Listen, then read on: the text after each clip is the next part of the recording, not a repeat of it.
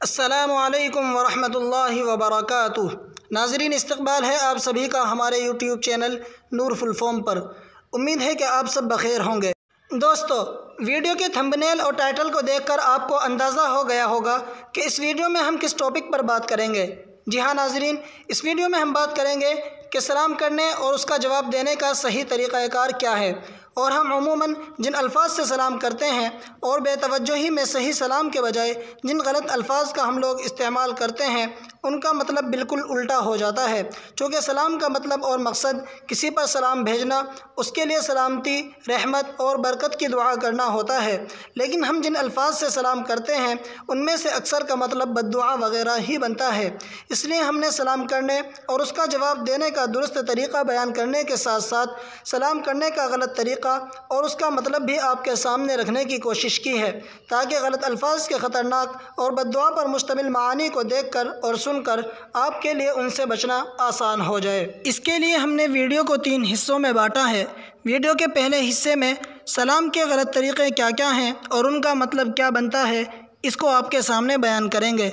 Video के दूसरे हिस्से में सलाम करने और जवाब देने का दुरुस्त तरीक़ा क्या है, इसको बयान करेंगे। साथ ही साथ ये भी बताएँगे कि किस मौके पर किस तरह सलाम करना चाहिए और किस तरह जवाब देना चाहिए। वीडियो के तीसरे हिस्से में हम आपको बताएँगे कि वो कौन सी गलती है जिसका इरतकब आवाम तो दूर की बात, निन्यानवे परसेंट खवास, आलिम, फाजिल, मुफ्ती और मौलवी भी सलाम का जवाब देते वक्त करते हैं। तो चलिए बिना आपका वक्त ज़ाय किए वीडियो को स्टार्ट करते हैं।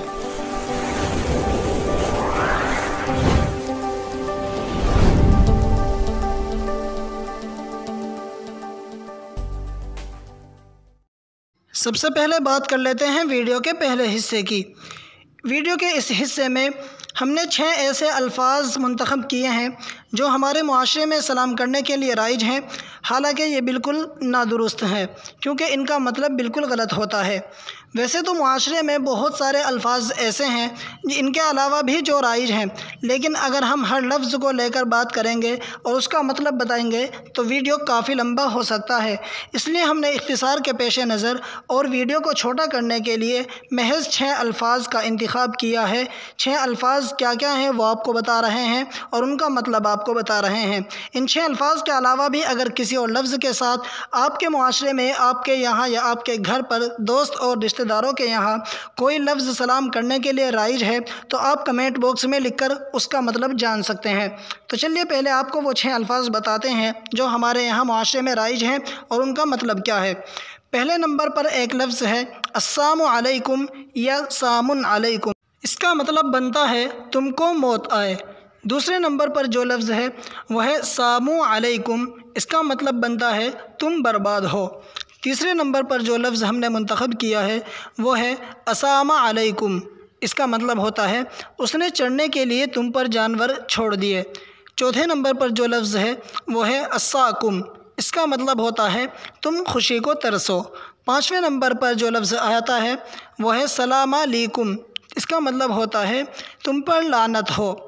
और छठे नंबर पर जो लफ्ज़ है, वो है सलाकुम इसका मतलब होता है, उसने तुम्हें मेरे लिए भुला दिया। तो नाजरीन, ये थे वो छः अल्फाज जो हमारे माशरे में सलाम करने के लिए राइज हैं। इनका मतलब हमने आपको बताया।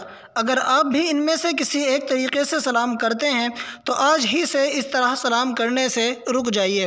क्योंकि इस तरह सलाम करने से आप सामने वाले को दुआ देने के बजाय उसके लिए मज़ीद बदुआ कर रहे होते हैं। तो नाजरीन, यहाँ तक वीडियो का पहला हिस्सा मुकम्मल हुआ।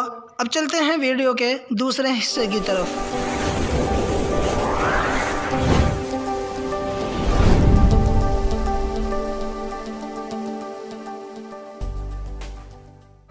नाजरीन, वीडियो के इस दूसरे हिस्से में हम आपको सलाम करने और जवाब देने का दुरुस्त तरीक़ा बताने वाले हैं और आपको ये भी बताने वाले हैं कि आप किस मौके पर किस तरह सलाम करेंगे और किस तरह जवाब देंगे। तो नाजरीन, सलाम करने का दुरुस्त तरीक़ा ये है असलकुम वरहमतुल्लाहि वबरकatuh इसी तरह जवाब देने का दुरुस्त तरीक़ा है वालेकुमुस्सलाम वरहमतुल्लाहि वबरकातुह। सलाम करने और जवाब देने का ये तरीक़ा जानने के बाद आप में से बाज़ हजरात के दिल में ये सवाल पैदा होगा कि क्या महज असलकुम कहना काफ़ी नहीं है? तो इसका जवाब मैं आपको दो हदीसें बयान करके देता हूँ। हदीस शरीफ में आता है कि एक शख्स आए और उन्होंने आप सल्लल्लाहु अलैहि वसल्लम को सलाम किया और सिर्फ़ असलकुम कहा। तो आपने कहा कि इसको दस ने किया मिली। दूसरे सहाबी आए और उन्होंने आकर आपको सलाम किया। असलकम वरहमतुल्ला आप ने फरमाया कि इसने बीस नेकियाँ हासिल की। इसी तरह एक तीसरा शख्स आया और आप सल्लल्लाहु अलैहि वसल्लम को आकर सलाम किया, अस्सलाम वालेकुम वरहमतुल्लाहि व बरकातुहू तो आप सलाम ने फरमाया कि इसने तीस नेकियाँ हासिल की। अब आप ही बताइए कि आप ज़्यादा नफ़े वाला सौदा करेंगे या कम मुनाफे वाला सौदा करेंगे? ज़ाहिर सी बात है कि हर इंसान हर मामले में वही सौदा तय करता है जिसमें उसका फ़ायदा ज़्यादा होता है। इसलिए सलाम करने में अस्सलाम वालेकुम वरहमतुल्लाहि व बरकातुहू कहने में तीस नेकियाँ मिलती हैं और यही नफ़े का सौदा है। इसलिए सलाम करने का दुरुस्त तरीक़ा भी यही है। इसी तरह जब आप जवाब दें तो जवाब में भी आप पूरा जवाब दें। वालेकुमुस्सलाम वरहमतुल्लाहि व बरकातुहू क्योंकि जवाब देते वक्त भी यही नफ़े का सौदा है। दूसरी हदीस शरीफ हम आपको वीडियो के तीसरे हिस्से में सुनाएँगे। लेकिन चूँकि हमने आपसे वादा किया था कि हम वीडियो के दूसरे हिस्से में सलाम करने और जवाब देने का दुरुस्त तरीक़ा बयान करने के साथ साथ आपको ये भी बताएँगे कि आप किस मौके पर किस तरह सलाम करेंगे और किस मौके पर किस तरह जवाब देंगे। सलाम करने और जवाब देने का जो तरीक़ा हमने अभी हाल ही में आपको बताया, ये तो आम हालात में है। लेकिन अगर आप कब्रिस्तान जाते हैं और वहाँ पर मुर्दों को सलाम करना चाहते हैं तो वहाँ पर सलाम करने का दुरुस्त तरीक़ा होता है असलकुम या अहल कबूर। इसी तरह, अमूमी हालात में जवाब देने का वही तरीक़ा है, जो अभी आपको बताया गया। लेकिन अगर कोई बाहर से आपको किसी के ज़रिए सलाम भिजवाता है तो वहाँ पर जवाब देने का तरीक़ा कुछ अलग है। उस मौके पर आप इस तरह जवाब नहीं देंगे। वालेकुमुस्सलाम वरहमतुल्लाहि वबरक बल्कि उस मौके पर आप जवाब देंगे, अलैका वालैहिस्सलाम वरहमतुल्लाहि वबरकातुहू। तो नाजरीन, अल्हम्दुलिल्लाह, यहाँ तक हमारी वीडियो के दो हिस्से मुकम्मल हो चुके हैं। वीडियो के पहले हिस्से में आपने जाना कि गलत तरीक़े सलाम करने के क्या क्या हैं और उनका मतलब क्या बनता है और उनसे एहतियात करना कितना ज़रूरी है। वीडियो के दूसरे हिस्से में आपने जाना कि सलाम करने और जवाब देने का दुरुस्त तरीक़ा क्या है और आप किस मौके पर किस तरह सलाम कर सकते हैं और किस तरह जवाब दे सकते हैं। अब चलते हैं वीडियो के तीसरे हिस्से की तरफ़।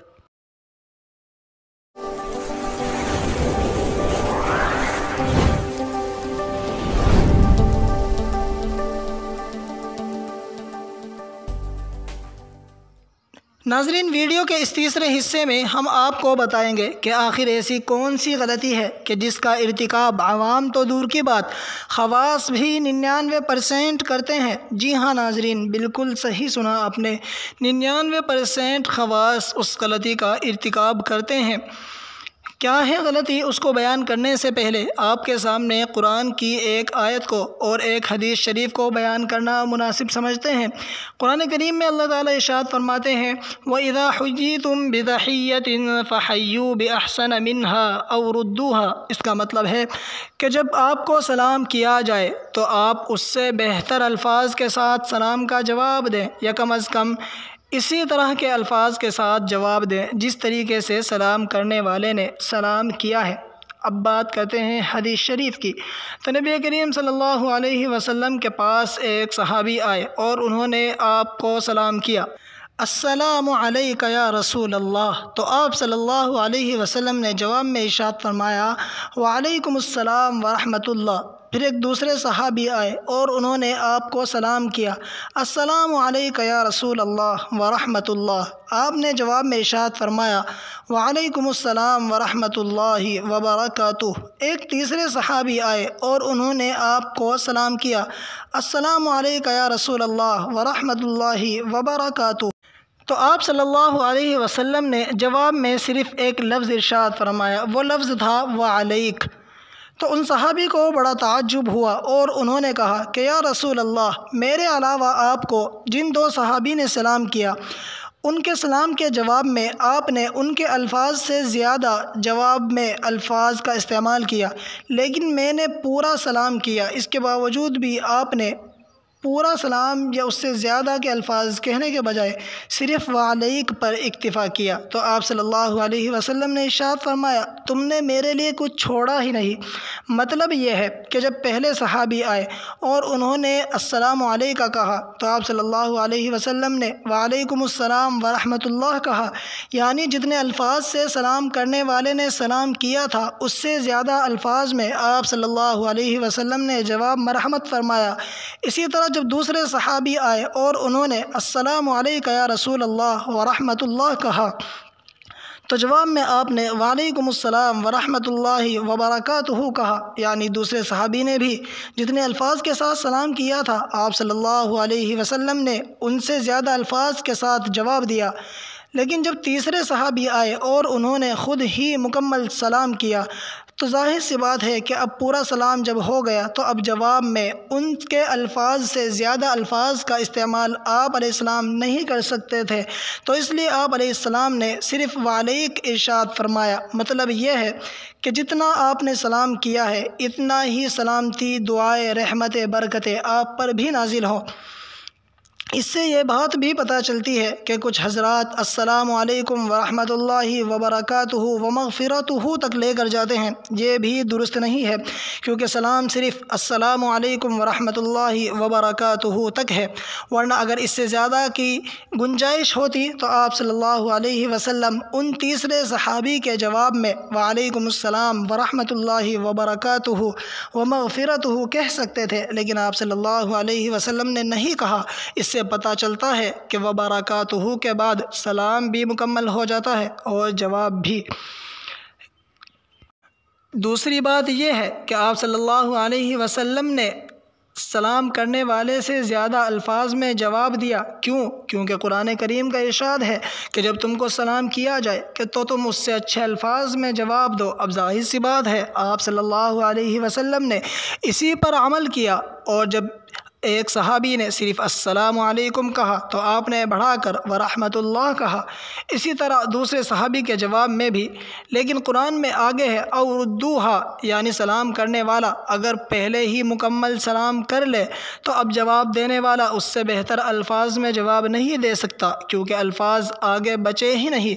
तो इसलिए कुरान करीम में इशाद है अवरुद्दूहा जितना सलाम करने वाले ने सलाम किया है, आप इतना ही जवाब दे लें। दूसरा मतलब इसका ये भी हो सकता है, मान लीजिए असलकुम किसी ने कहा तो अवरुद्दूहा का मतलब यहाँ पर यह भी हो सकता है कि आप सिर्फ़ वालेकुमुस्सलाम ही कह लें यानी कि कम अज़ कम सलाम करने वाले ने जितना सलाम किया है, आप इतना तो उसका जवाब दें। इससे ज़्यादा अगर आप जवाब देते हैं तो ये बेहतर है, लेकिन लाजिम है कि आपको जितना सलाम किया गया है, कम अज़ कम इतना तो आप जवाब दे ही दें। तो यहीं पर आकर हमारे आवाम और ख़वास गलती कर जाते हैं। आपने अक्सर देखा होगा कि अगर आप किसी को सलाम करते हैं असलकम वरहमल वबरक तो बहुत ही कम ऐसा होता होगा कि जवाब देने वाला भी मुकम्मल जवाब दे, बल्कि वो सिर्फ़ वालेकुम पर इक्तफ़ा कर लेता है, फिर चाहे वो आम हो या ख़ास। और यह बात मुझे इसलिए कहनी पड़ रही है क्योंकि ये बात मेरे तजुर्बे में है। मैंने एक साहिब को मुकम्मल सलाम किया तो उन्होंने महज़ वालेकुम पर इक्तफ़ा किया। उसके बाद मैंने कुरान करीम की यह आयत उनके पास सेंड की। तब उन्होंने कहा कि मुझसे गलती हुई है और मुझे पूरा जवाब देना चाहिए था। तो नाजरीन, यही वो गलती है जहाँ पर ख़वास भी गलती कर जाते हैं और इसका इरतकब कर जाते हैं। इसलिए आपसे गुजारिश है कि आप भी मुकम्मल सलाम करें, मुकम्मल जवाब दें और जिस मौके पर जिस तरह सलाम करना है और जिस तरह जवाब देना है, आप इसका पूरा ख्याल करें। और हो सके तो इस वीडियो को ज़्यादा से ज़्यादा शेयर कीजिए ताकि हर एक मुसलमान का सलाम और जवाब दुरुस्त हो सके। ख़ास तौर से जिस गलती का मरतकब आवाम के साथ साथ खवास भी हैं, उसकी असलाह हो सके। हमने आप तक ये वीडियो बनाकर पहुँचा दिया। अब आपकी ज़िम्मेदारी है कि आप इस वीडियो को शेयर करके लाखों करोड़ों मुसलमानों तक इस वीडियो को पहुँचा दीजिए ताकि सलाम और जवाब दुरुस्त हो सके। अगर आपको ये वीडियो अच्छी लगी हो तो आप इस वीडियो को लाइक कर सकते हैं, कमेंट बॉक्स में अपनी राय का इजहार कर सकते हैं। इसके अलावा हमारे चैनल को सब्सक्राइब करके हमसे जुड़ सकते हैं, ताकि हमारी आने वाली हर वीडियो का नोटिफिकेशन भी आपको मिलता रहे। इसके लिए आपको सब्सक्राइब करने के बाद बेल आइकन को प्रेस करके ऑल नोटिफिकेशन को भी ऑन करना होगा। इससे ज़्यादा आपकी कोई ज़िम्मेदारी नहीं होगी। आपकी ज़िम्मेदारी महज इतनी है कि आप इस वीडियो को शेयर करके लाखों करोड़ों मुसलमानों तक पहुँचा दीजिए। हमारी वीडियो को लास्ट तक देखने के लिए और आखिर तक हमारे साथ बने रहने के लिए आपका जितना शुक्रिया अदा किया जाए, कम है। असलकम वरहमल वर्का